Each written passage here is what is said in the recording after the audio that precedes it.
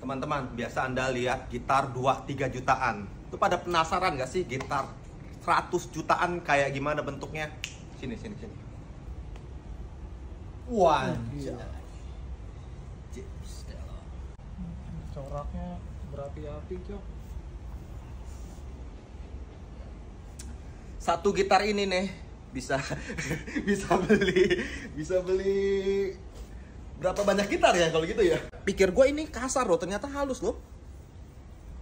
Ini ini halus banget nih men. Tuh lo lo banget ya Iya.